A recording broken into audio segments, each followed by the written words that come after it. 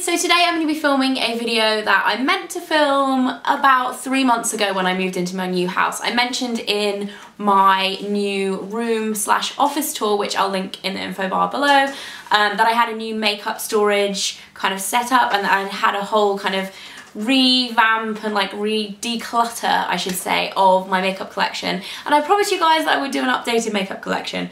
It's taken three months, but here it is. I hope you guys enjoy it. This is my updated makeup collection. And as a disclaimer, I know I have a ridiculous amount of makeup. Um, vlogging is what I do, so um, it kind of comes with the whole package, really. So um, yeah, one person definitely doesn't need this much makeup, so just a bit of a disclaimer, not trying to show off, and I hope you guys enjoy this video. So this is where I store all of my makeup. You guys might recognise this piece of furniture. It is the IKEA Alex and it is really popular amongst YouTubers for the sole reason that it's pretty hard to find anything like this um, to store makeup in and it really is amazing. You can get a lot of stuff in it and it stores really well. There are a lot of drawers um, and I'm going to show you what I keep in each of them.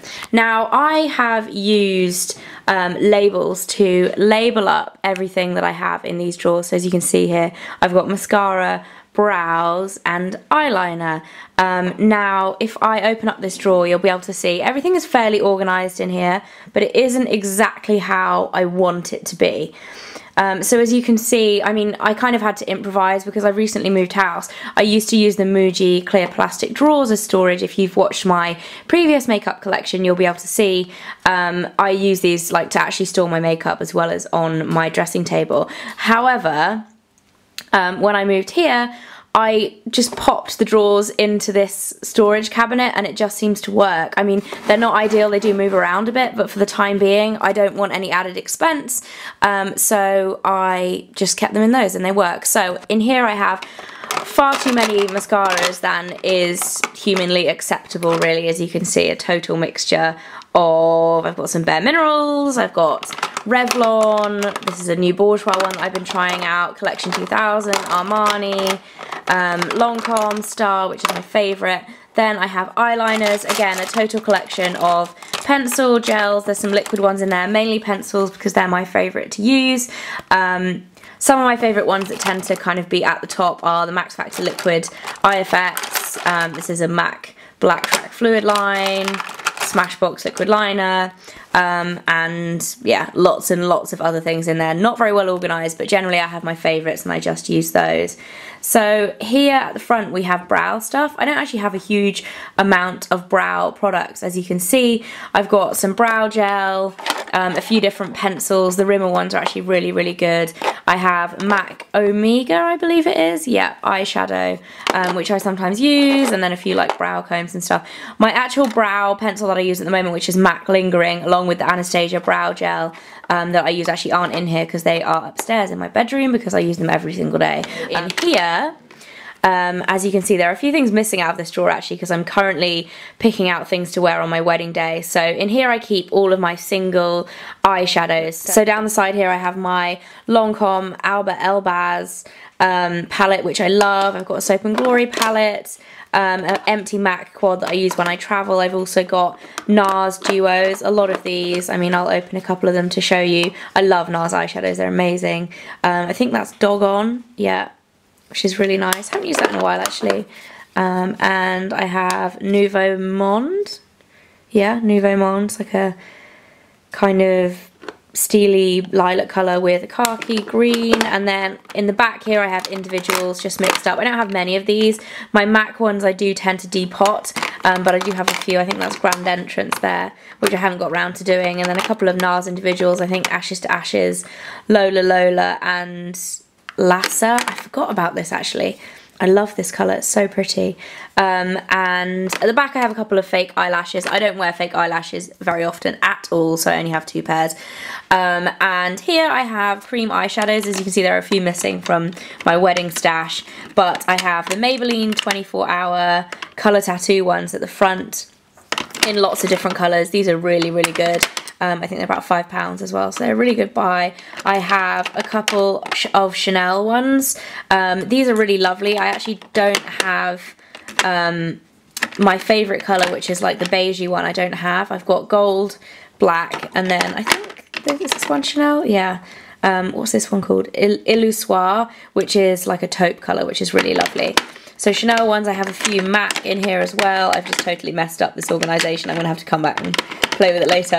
I have a few MAC ones as well, Bobbi Brown, things like that. And then in the front here, I actually keep eyeshadow primers and pencil crayons. So I've got some Urban Decay ones, the Clinique Chubby Sticks for Eyes, which are really nice a Chanel one down there, a couple of others. And then here in the front, I just have a little stack of loose pigment eyeshadows. I really don't have many of these because, to be honest, I find them um, kind of messy. I'm kind of clumsy and I drop them on the carpet and things like that. But I do have a couple of the L'Oreal ones, which are amazing. I do have a few more colours of these somewhere hanging around, I think, in my makeup bag.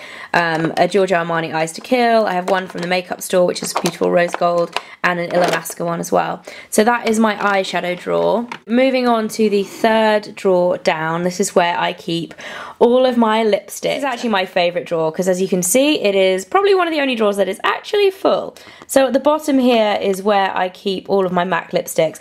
This setup isn't ideal because I can't actually tell which colours are which. Um, so it works kind of for the most part for some of the others because they have the colours in the middle or on the outside, or I only have a couple of them so I kind of know which one's which. Um, but for the MAC ones, I really do want to find like an acrylic storage solution for them sometime soon, but I haven't got round to it yet. I have all of my Chanel lipsticks. These are probably my most used. Um, I have the, I think, what are these called again? Rouge Coco, and then I also have Rouge Coco Shine, which are my favourite formulations. And I think these are Rouge Allure. Yeah, and then the Rouge Allure ones at the end. So I love my Chanel lipsticks. They are by far my most used. Got some YSL here. I've also got Dior, um, NARS going along um, Revlon. I've got some Gemma Kidd ones which are now discontinued. The Kate Moss for Rimmel ones which are great. L'Oreal. Um, Rouge Caresse. These are all kind of random ones or twos. I've got an Armani leather one there, which is really nice. Is that Armani? No, it's Givenchy. Um, sorry, that was a bit of a fail. It's actually personalised. They sent that to me. That's amazing. Like, the actual colour isn't very nice, but um, they wrote my name, if I can focus. They wrote my name on it, they engraved it. How cool is that? And then I've got um, some CoverGirl at the back, some Topshop, a few other miscellaneous things. That is my lipstick drawer.